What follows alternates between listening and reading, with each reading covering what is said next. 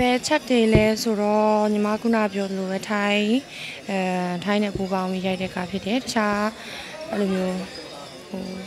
နိုင်ငံတွေမှာလည်းယုံတင်ပြသမဲ့ကားဖြစ်လို့အဲ့ဒါလေးကဒီကားကိုရိုက်ကူးဖို့အတွက်ရှာကိုဆွဲဆောင်ခဲ့တာပေါ့နော်။ဘာဖြစ်ချင်းခုံနေလဲဆိုတော့အရန်ရင်ခုံပါတယ်ဟိုဟိုဒီလိုမျိုးတခြားနိုင်ငံခြားသားတွေနဲ့ရိုက်ကူးတာဆိုတော့ဒါပထမဆုံးကားဆိုတော့ဟိုကိုကဒါမြန်မာပြည်ကတရုတ်ဆောင်ဖြစ်တဲ့ကြောင့်ကို တရုတ်ဆောင်တဲ့ဥစ္စာသူတို့နဲ့အဝင်ခွင်ကြဖြစ်ပါမလားပေါ့နော်အဲအဲ့ဒါမျိုးလေးလဲစိုးရိမ်နေအဲအေးပေါ့ဒါပထမဆုံးအတွေ့အကြုံပေါ့နော်အဲအကြောင်းမလို့နည်းနည်းတော့ဂျိုင်းနေကြကားထပ်ပို့ပြီးတော့စိတ်လှုပ်ရှားရရင်ခုန်နေပေါ့ဟုတ်ဟမ်လင်းရင်မဲ့ပါ ဘာပြင်စနာလဲဆိုတော့ဒီကားကပြောမယ်ဆိုရင်အဲ makeup ပိုင်းရော wardrobe ပိုင်းရောညီမစိတ်အေးတယ်ပေါ့နော်စိတ်အေးရဆိုတော့ stylist တက်တက်ခေါ်ရတယ်နောက် makeup artist တက်တက်ခေါ်ရတယ်အဲ့လိုမျိုးဆိုတော့ညီမကဒီမှာအဲမူးထည့်ပြီးတော့ဒီကားရဲ့ character ကိုဝင်ဖို့ကိုယ့်အကိုစိတ်ထည့်ပြီးတော့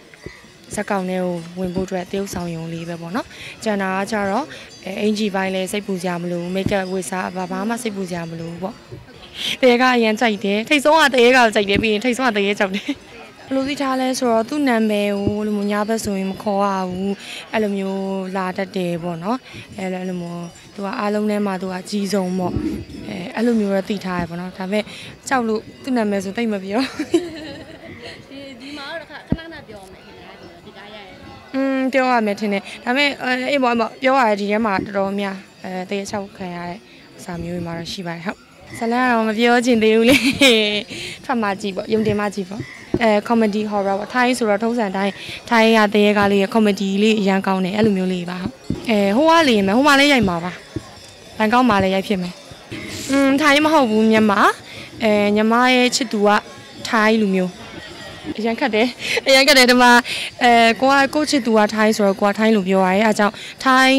ဒီကားထဲမှာအခက်ဆုံးအပိုင်းကတော့ညီမတာဝန်ယူရဆိုရင်ဒီညီမထိုင်းလို့လည်းပြောပြောနေကြလူမဟုတ်ဘူးအဲဒါမဲ့ထိုင်းစာတွေကိုဒီထဲမှာထိုင်း dialogue တွေရှေ့ယူညီမတင်ရတယ်ပေါ့နော်အဲ့တော့စက်ယုံနေမဟုတ်ဘူးသူကဒီအတိတ်ပဲထိုင်းစကားတွေကနားလဲအောင်ဒီထိုင်းစာတင်ပေးတဲ့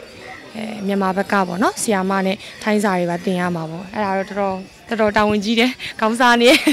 อืมစိုးရင်ねစိုးရင်ねဆိုတာအမ်အားကြောင့်မို့လို့ပေါ့မြန်မာပြောသလိုပေါ့ဒီကိုပြောမဲ့အတိတ်ပဲဒီထိုင်းစကားရဲ့အတိတ်ပဲကိုဟိုနားလည်ဖို့လိုတာပေါ့နော်နားလည်ထားမှအဲတရုပ်ဆောင်တဲ့ခါမှာဟို idea တခြားစကားပြောတဲ့အချိန်မှာစကားထဲမှာပဲမျောသွားပြီး idea idea လုပ်ဖို့ လို့ခေါ်မယ်မမေ့မှာပေါ့နော်အဲအကြောင်းဒီကိုပြောမဲ့စကားတွေရဲ့အဓိပ္ပာယ်ကိုလည်းသိအောင်လို့ညီမတင်ယူရမှာပေါ့ဟုတ်တင်နေပြီတင်နေပြီဟုတ်အဲဘယ်လိုပိုင်းဆက်ပြရအော်အာစဝဒီခါဟိုပါပြီကျေးဇူးပါ